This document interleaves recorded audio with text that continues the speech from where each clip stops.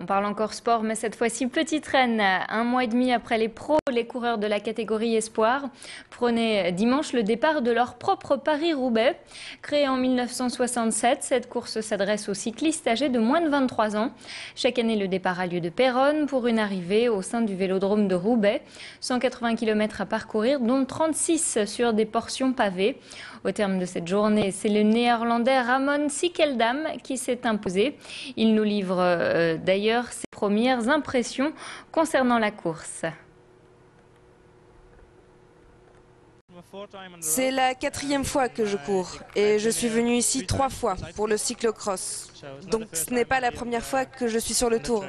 Le plus dur, c'est tout le temps difficile, sur les pavés. À chaque fois que tu roules sur les pavés, ça fait très mal. C'est vraiment douloureux. J'espère que je serai professionnel l'année prochaine.